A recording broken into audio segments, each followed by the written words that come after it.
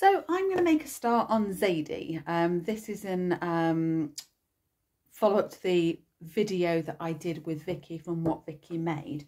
And I'm going to start my toile tonight. So I've cut all the pieces out already, so I'm just ready to go. And I thought it'd be quite nice if I could get the bodice made tonight. That's the plan anyway. So I'm going to start with these front pieces. I've got two front pieces. They're kind of peculiar shapes actually. And all I'm going to do is I'm going to work straight away on the darts. So down at the bottom here, let me just bend this down a little bit. Um, we've got these two markings. I've put a straight 10 on this, just so you know. And I'm just going to pinch one side there. And I'm just going to pinch it across and take it across to the, the other fold line. And I'm just going to give it a quick pin. And it says just to tack it in place, so I should get that done. I've also got another marking on this piece. This is the right panel just here and that's just to indicate that um, I need to stop sewing when I get there to make the hole for the, the belt tie.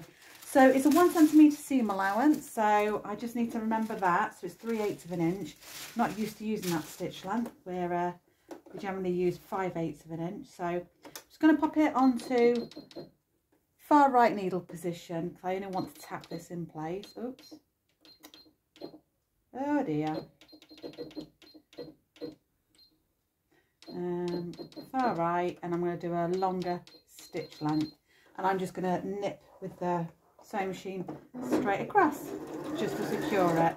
And now all I'm going to do is repeat that on the other panel piece for the left bodice. And now I've got the um, pair of back pieces so I'm just going to do the same again. It's got a dart on the bottom.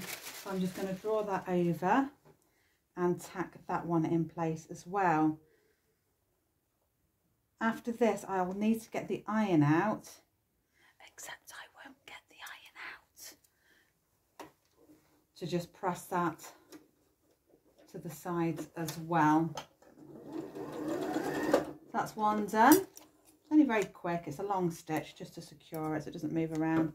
And then the same again on the other panel piece. So I should just do that. So those darts or those tucks have been um, put into place now. And now we should be ironing these um, towards the side seam, which is down here. But um, I'm not going to do that, like I say. What I'm going to do instead, because, you know, it, it's only the toile, isn't it? I would, I really, really would on the final product. But I'm just going to really fold that with my fingers. That's quite nice and sharp. That'll be fine do the same on the other piece and then we need to sew that back seam together. Now I guess if I was short of fabric the important thing to say here is you could actually just do it on one piece and just um, reduce the seam allowance. So I'm just going to the centre back here and I'm going to pin. So I'm going to start at the top and I'm going to put a pin in there one at the bottom and then we're going to sew with a one centimetre seam allowance all the way down. I need to length, shorten my stitch length because this is a, a final row of stitches if you like, not that basting stitch. And then I need to press the seam open.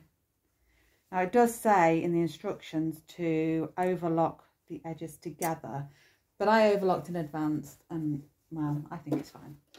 I'm happy with that. So that's what I'm going to do. So go down on the machine there and reverse to lock it in place and straight the way down. Don't sew over your pins.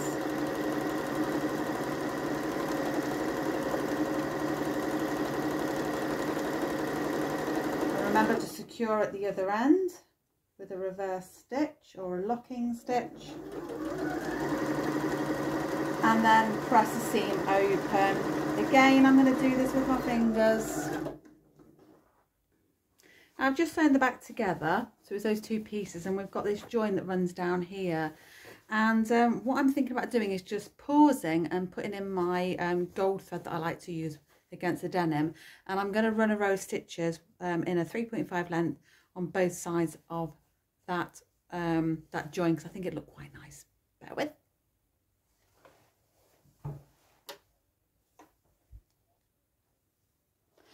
Just bringing you in really close here because I want to show you this gold thread as it goes um, So we can take it slower if we need to, but I'm just running a row of stitches straight down.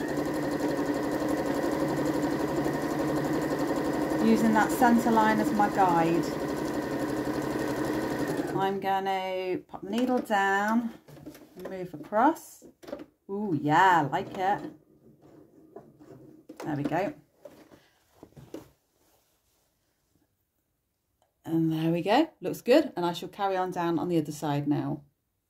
So now we're ready to join the two front panels to our back piece. I've just laid them over so I can see them in situ.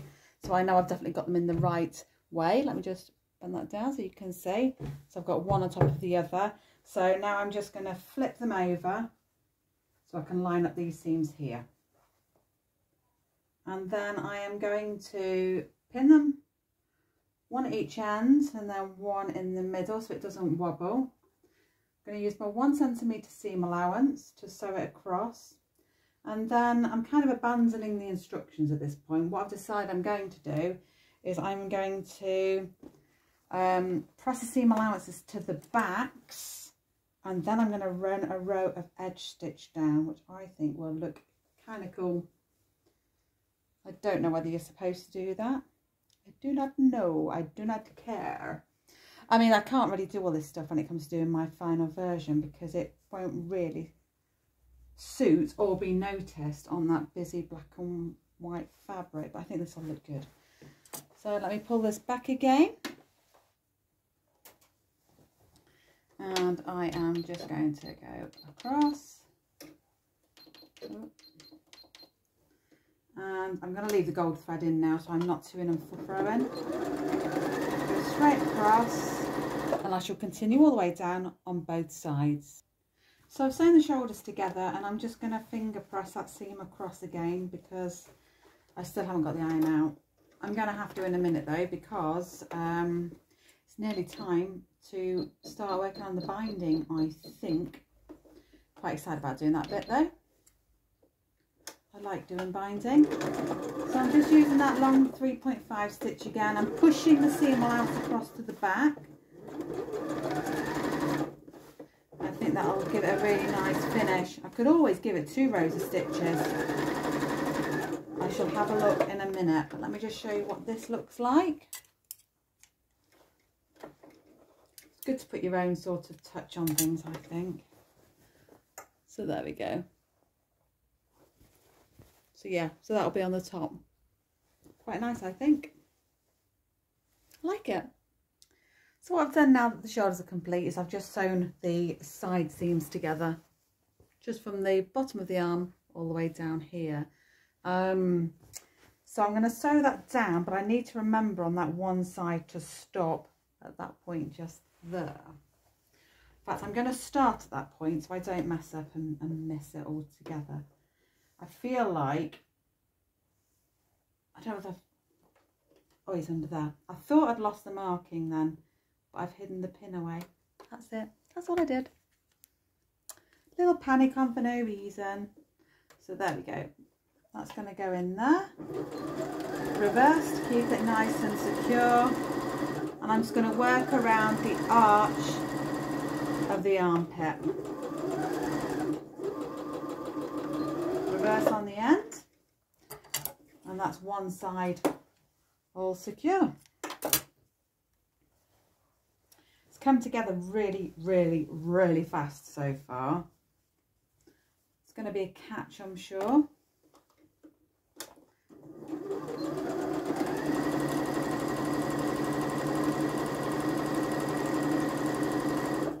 So in a second I can show you what the front looks like. Obviously I need to turn up the sleeves yet, but I should probably do that towards the end when the iron's out and things.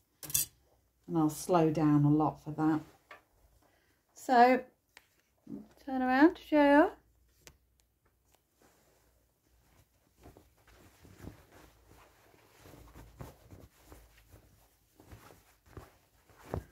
There we go.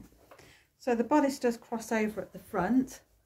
So what I now need to do is start working on the binding that will go all the way around. I think there's a step in between where I've just got to cross over the front first so it's secure and then I attach the binding. But I just need to go back and review the instructions.